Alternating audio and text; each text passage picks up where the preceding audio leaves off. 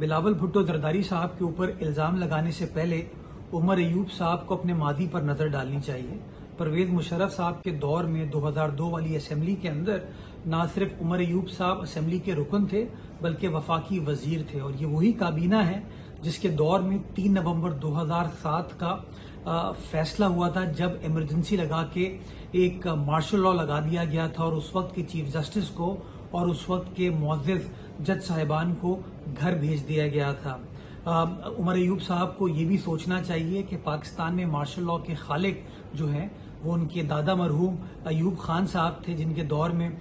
Martial law लगा और आपने देखा कि पाकिस्तान आ, किन मुश्किल से उसके बाद दो चार हुआ आ, पाकिस्तान को दो लख्त होना पड़ा। आ, मेरा ये मानना है